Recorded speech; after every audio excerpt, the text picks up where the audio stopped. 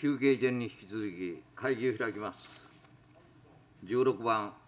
中西康信議員。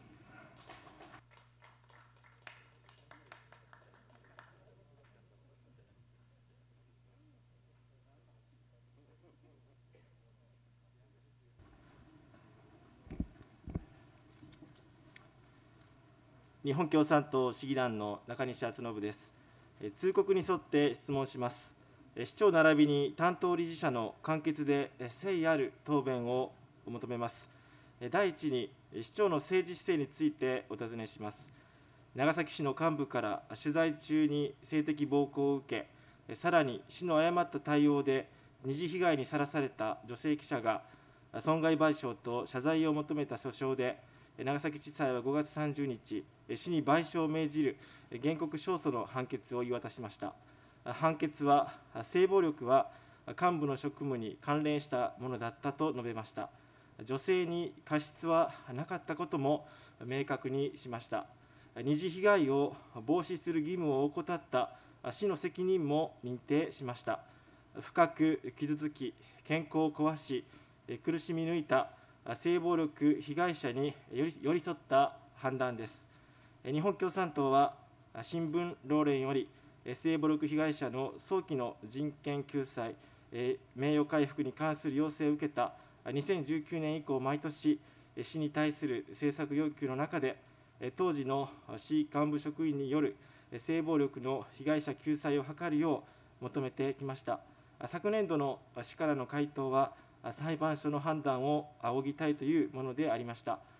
原告勝訴の判決が下された5月30日、日本共産党長崎市議団は、会派として市に対して申し入れを行い、判決を真摯に受け止め、被害女性に直ちに謝罪するとともに、控訴しないよう強く要請していたところ、長崎市はおとといの7日、控訴せず、判決を受け入れることを明らかにしました。これは支援団体や市内外から寄せられた数多くの控訴断念を求める声が市長に届いた結果だと思います。市長は判決を真摯に受け入れる必要がある、原告にお会いして心から謝罪させていただきたいと述べました。ただ、裁判の中で長崎市が女性が適切に対応していれば容易に回避できたなどと主張しており、性暴力に対する認識を改め、本当に判決に真摯に向き合った結果の判断なのか、明快な答弁を求めます。次に、原油価格、物価高騰対策についてお尋ねする予定でしたが、先日、同僚議員から同趣旨の質問が出された際、すでに見解が示されましたので、質問席からの質問に変えさせていただきます。次に、教育合成についてお尋ねします。コロナ禍で生理の貧困が問題になる中、トイレに生理用品が当たり前に置いてある社会にしたいという運動が広がっています。本市では、市教育委員会に対して、NGO 団体、新日本婦人の会や、日本共産党市議団としても、学校トイレに生理用品をと申し入れなどを行ってきました。他都市では、学校トイレに生理用品を設置する自治体が増えています。経済的な事情で家庭が生理用品を買えないという以外にも、小中学生が自分で買うのが恥ずかしい、親に頼むのが恥ずかしい、親が買ってくれないなど、生理用品の入手が困難になっている実態を踏まえ、保健室まで取りに行けずに困っている児童・生徒に配慮する必要があるとして、トイレへの設置へと対応を変化させています。一方で、長崎市では保健室での無償提供にとどまっています。その上で3点お尋ねいたします。市教育委員会は保健室での配布に固執していますが、保健室まで取りに行けずに困っている児童・生徒は長崎市の学校にはいないとの認識ですか。生理は人類の命に関わって女性の体に現れる現象であり、女性だけの問題ではなく、ジェンダー平等の角度から社会全体でサポートすべき問題ではないかと考えます。こういった点から、教育環境において、生理用品を自分で準備するのは、マナーや身だしなみとして当たり前、自分で学校に持ってくるのが普通という考えを見直すことが必要ではないでしょうか。県教育委員会では今年度より現物と予算の形で生理用品を確保し各県立学校に対して可能な限りトイレへの設置を依頼しているといいます本市教育委員会においてもそうした対応をすべきではありませんか見解を求めますなお通告しておりました2教育行政についての括弧1教員への指導措置の妥当性については答弁を受けた後残り時間の中で質問席からの質問とさせていただきます。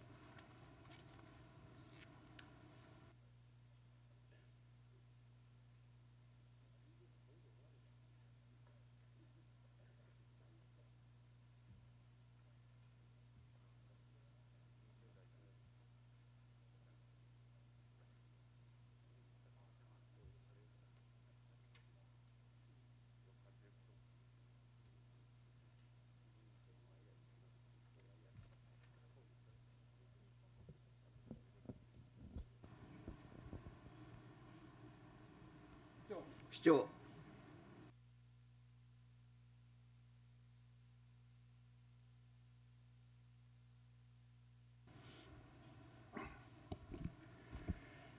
日本共産党中西敦信議員の質問にお答えします。1点目の市長の政治姿勢についての括弧1、性暴力訴訟の判決を受けた対応についてお答えします。今回の裁判において、提訴に応じるにあたって、当事者である元部長が死亡している中、できる限りの情報を整理した上で証拠等を提出し、主張を尽くした上での判決であり、真摯に受け止める必要があるということや、今後、控訴をして争いを続けるよりも、長崎市として反省の上、必要な見直しを行い、また原告にもこれからの活躍に向けて、未来のために歩みを進めていただくべきではないかと考え、控訴を行わないことを決断した次第です。今回の判決を機に、二次被害防止のため、プライバシー保護や個人的見解の拡散防止など、事案発生時に対応するための体制や仕組みをさらに充実させたいと考えています。このような考えのもと、判決を受け入れ、今後お支払いすることとなる賠償金などに関する予算などの関連議案について、本議会に提案することとしております。以上、本段からの答弁といたします。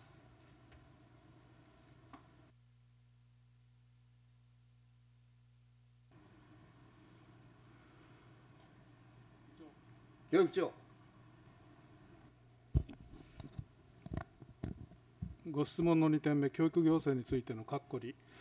一律学校のトイレの生理用品設置についてお答えします。長崎市立小中学校における生理生理用品の取り扱いにつきましては、以前は児童・生徒が生理用品を必要となったものの、持参していない場合に、緊急用として保健室において貸与しておりましたが、昨年7月から取り扱いを変更し、生理用品を必要とする児童・生徒が保健室に訪れた場合は提供することといたしました。このような取り扱いとする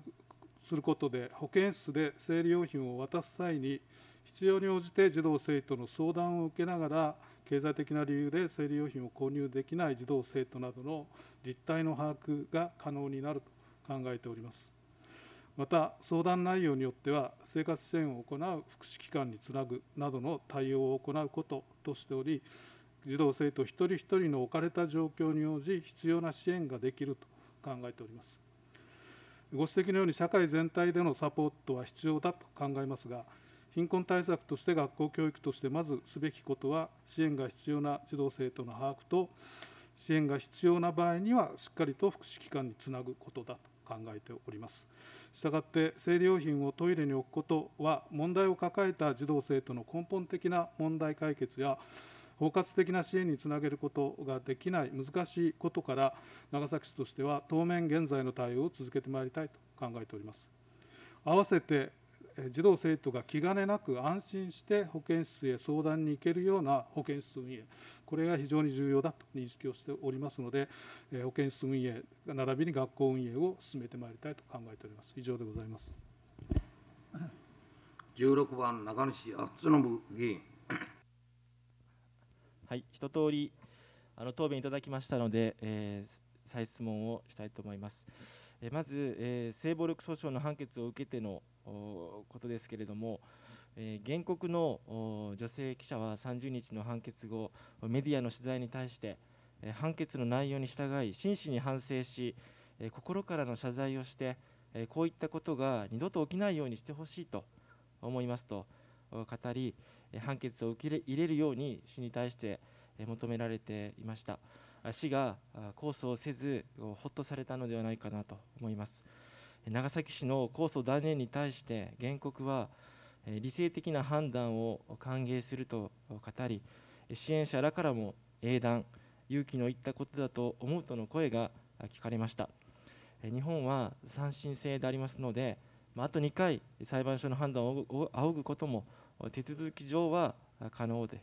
それを今回選ばず、判決を受け入れたことに対する率直な評価ではないかなと思います。ただ、控訴は断念したけれども、長崎市の性暴力に対する認識が変わったのか、過失総裁の主張は撤回するのか、この点が引き続き問われると思います。報道によると、裁判の中で市側が、女性が部長のセクハラ言動に適切な対応を取っていれば、この事件は起こらなかったはずだとなどと、女性にも過失があると主張していたといいます。こういう主張がなされるたびに、原告は苦しめられてきた、控訴を断念し、判決を受け入れた以上、性暴力に対する認識を改める必要があると思います。性暴力にあったのはあなたにも責任がある、こういう認識と主張は、原告のみならず、性暴力被害者をひどく傷つける、あってはならない、してはならないと、そういう認識に至ったということでいいのか、お尋ねをいたします。市長中西議員の再質問にお答えします。これまで長崎市は、元部長が亡くなったことや、元部長と原告の主張が全く違ったことから、事実関係を確定できずにおりました。裁判になって初めて知る内容の証拠もありました。そのような中、過失総裁を主張し、裁判において故意か過失かという要態も含めて明らかにすることは、双方が主張を出し合い、裁判所の判断を仰ぐという過程で必要な訴訟活動であったというふうに考えております。以上です。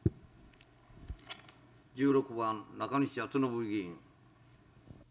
まあ、市はね、あの必要なあの主張だったという、まあ、市長の答弁でしたけれども、だあのそういう主張がこう被害者を傷つけると、暴力にあった女性が声を上げることを躊躇させ、そして報道を萎縮させたり、権利侵害を伴うことだったという点、きちんと認識する必要があると思います。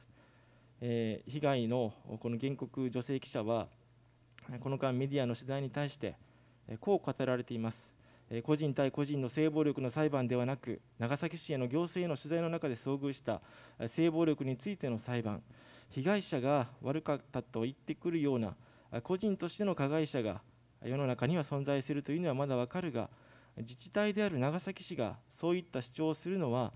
自分たちで自分たちの足元をハンマーで叩き破っているような、非常に危うい行為だと思いますと指摘しています。性暴力に遭うのは、被害者に落ち度がある、被害者にも責任があるというのは、暴力根絶、男女共同参画社会の実現を掲げ、そして平和を希求する自治体の主張するようなことではありません。さらにお尋ねしますが、長崎市は30日の判決後のコメントで、えー、長崎市は訴訟の経過において必要な主張を行い、その主張が認められた部分もあります。しかしながら一方で、主張が認められなかった部分もあり、対応を検討すると述べていました。長崎市はいくつもの点を挙げて、被害者にも責任があり、市の過失は相殺される、過失は極端に少なくなるか、もしかしたらゼロになるかもしれないと、そういうことも考えられると主張していたわけですが、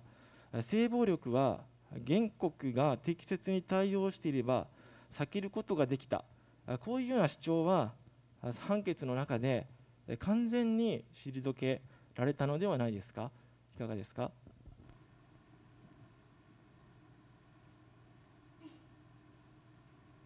市長。中西議員の再質問にお答えいたします。先ほど答弁されていただいたように、今回の裁判において、事実関係を確定できずにいたと。いう中で、えー過失総裁を今回、主張させていただきました。えーしかし、今回の判決の中において、えーそのことは取り上げられませんでしたので、判決の内容として、そのそのそのことは退けられたものというふうに考えております。以上です。16番中西敦信議員まあ、過失総裁の主張はあ裁判所では否定されたわけです。えーこのあの6月議会の中でも同僚議員の質問質疑ですでにあったように、え性暴力に言い訳は通用しないと。性暴力根絶を掲げながら女性の性暴力被害者が救済を求めると暴力を受けたあなたにも責任がある。事件は未然に防げたはずだというのは差別的な基準に基づく主張で男女共同参画の趣旨と全く相入れないものだと。もう控訴を断念したからには今の時点に立ってみれば誤った主張だったと。撤回すべき主張だったとそういうふうに言わなければならないというふうに思います。過失総裁の主張は公権力の乱用だと言われても仕方のないことだと思います。原告にも過失があると主張した部分は間違いだったと受け入れるべきであります。少なくともこれからはそういう主張は行わないと、性暴力に対する認識と対応を見直すと、そう明らかにした上で、えーこれから原告に対しても謝罪をするべきではないかと思いますが、そういう考えはありませんか？市長先ほどあのお話申し上げましたように、今回の過失総裁は訴訟活動の中で、えー必要な、えープロセスであったというふうに考えております。えーその今後、お原告の方とお会いする、えーことができれば、その中で、えー私の思いもお伝えし、えー真摯に謝罪申し上げたいというふうに思っております。以上です。16番中西敦信議員やはりあの真摯にと、まあ、心からの謝罪というのであれば、やはり過失総裁の主張したことがあー間違いだったと、そのことも含めて言って初めて心からの謝罪になるのではないかというふうに思いますので、そこでは強く求めておきたいと思います。えまあ、先ほど来、その裁判の中で必要な主張だったと、まあ、裁判だからそういう主張をしたということかと思うんですけれども、それは裁判をした原告に対する責任転嫁にもなる話ではないかと思います。原告は実際訴訟の中で長崎市からそう主張され、え酷なことだったと言われています。それを受け止めるべきだと思います。原告はこれまで15年間、長崎市とりわけ市長から相反するメッセージを受け取ってきたと言われています。えつまり原告にはえ市長はですねその元気になってほしいと、まあ、そういうメッセージと、あそうではあるけれどもし加害をしたことは認めませんと回復を願う社会復帰職場復帰を願うでもその原因となった暴力の加害は認めないまさに相反する内容そういうふうに言われるたびに原告女性記者はじくじたる思いを市長に対して重ねてきたと語っています。え今回の判決と控訴断念を受け、え原告は暴力を振るった責任が、えー暴力を振るった側にあると社会に示されたことは多くの暴力に苦しんだ経験を持つ方の励ましになる平和を大切にする長崎市の判断は多くの人に届くと思う二度とこういう性暴力のようなことを起こしてほしくないと語っています。その上であのこの言葉をきちんと重く受け止めていただきたいというふうに思います。えその上でその防防止再発防止についてお尋ねをしますが、え答弁ではその事案発生時に対応するための仕組みや、まあ、体制や仕組みをさらに充実させたいということでしたが、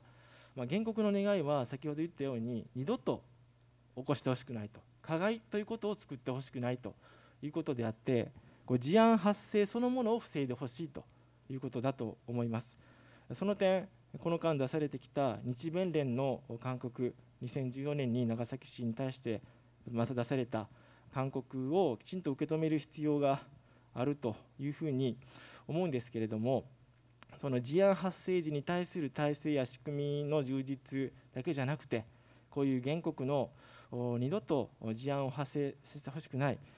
暴力の根絶の取り組みこそ充実させる必要があるというふうに思いますがそういう、ま、原告の意見も取り入れて男女平等と暴力の根絶に向けた施策の構築につなげるべきだと思いますがこの点見解を求めます総務長再質問にお答えいたします。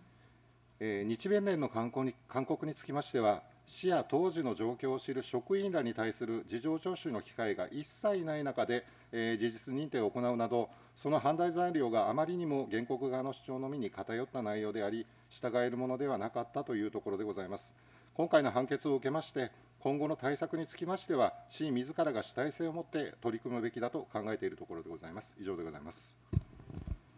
16番中西康信議員あの、まあ、訴訟の中で行った過失総裁の主張も誤りだとは認めないししかもしその再発防止というか今後についても市が主体となってって言われてもまあそれはあの十分なものなのかなとまたこういうようなあの公権力の乱用、まあ、性暴力の被害というものが長崎市から作る作り出されるんじゃないかとそういう疑念疑念をですね持たれても仕方ない話ではないかと思います。やはりあの日弁連の勧告にあるように被害者の意向を尊重すべきだとそういう、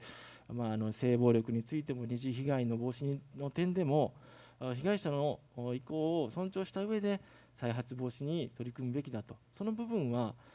あの裁判を受け入れたわけですからきちんとあの認めなきゃいけないんじゃないかなと思いますがそういう考えはないですか？総務長。再質問にお答えいたします。えー、と先ほど来市長の方がご答弁申し上げておりますが、えー訴訟活動の中でさまざまお互いが主張し合う中で今回の判決に至ったというところでございますので今回の判決をしっかり受け止めながらそういう性被害の防止とか、えーそういった二次被害の防止とかそういったものにつきましてはですねしっかりと市の方で、えー調査をし研究しあのしっかりした体制を構築してまいりたいと考えているところでございます。以上でございます。16番中西康信議員あのそういう中身が実態を伴ったものになるようにあの、まあ、原告の方であったりあの弁護団であったり支援団体であったりそういう方々の意見もきちんと踏まえてあのそういう方々から見てもきちんと男女平等参画の基準というかあの実現がね担保される再発防止策だという評価がもらえるようにやっぱりあの一緒になって作っていくと。そういう姿勢がやっぱりあの当然あってしかるべきじゃないかなと、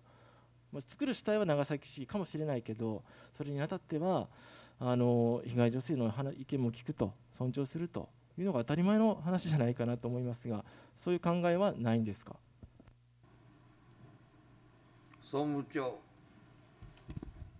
え再質問にお答えいたします。えー、と先ほどもご答弁いたしましたが、えー、と性暴力の根絶っていうのは当然、市として取り組むべきものであり、えーこれまでの裁判の経過っていうものを当然、我々も、えー分かっておりますので、その、えーこれまでの経過も踏まえて、今後、そういうことが起こらないように、えー市が主体となって、しっかりと、えー体制と構築してまいりたいと考えているところでございます。以上でございます。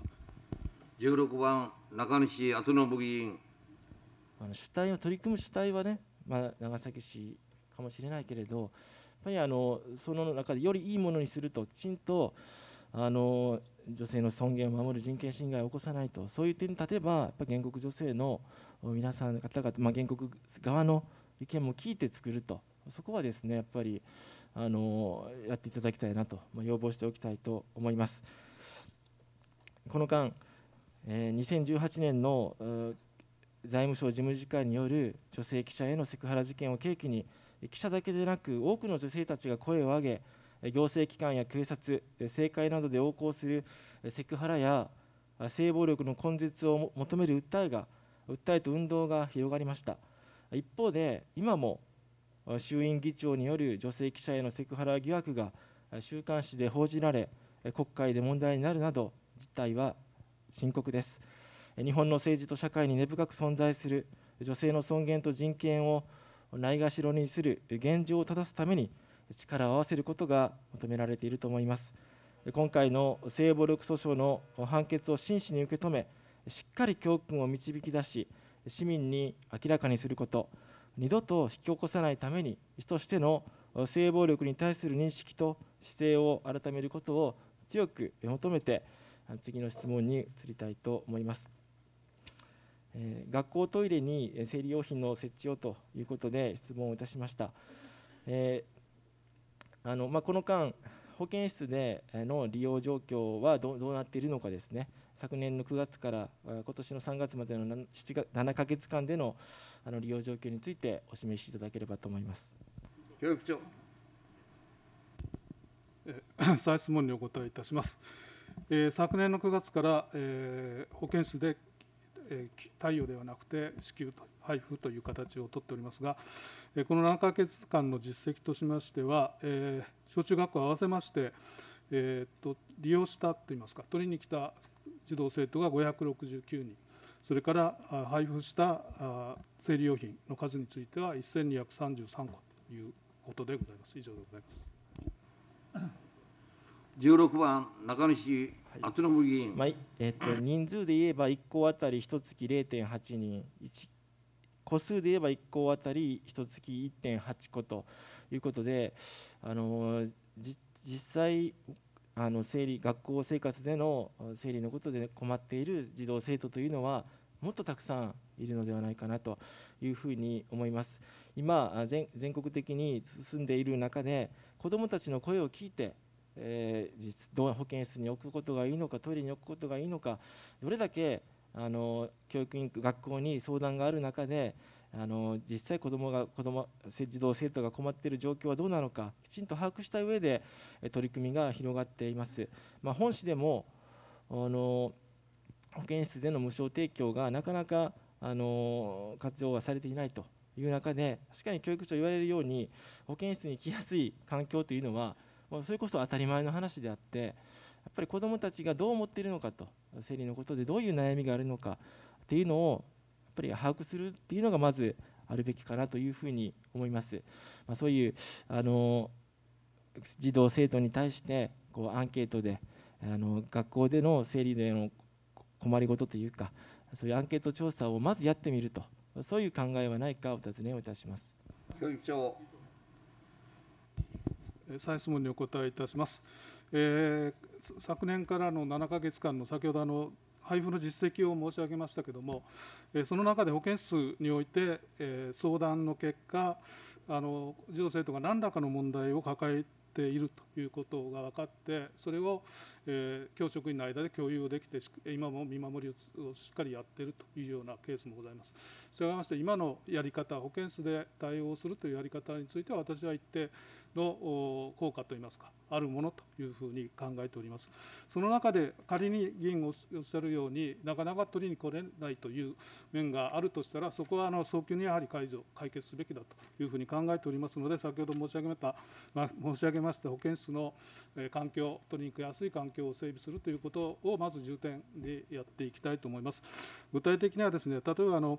えー、そういう内容のチラシポスター等を掲示をすることはもちろんでありますけれども例えば、えー、カードを持っていれば保健室に他の子どもたちがいてもそのままお渡しをするというような取り組みであったりとかそれから環境面では保健室のドアを、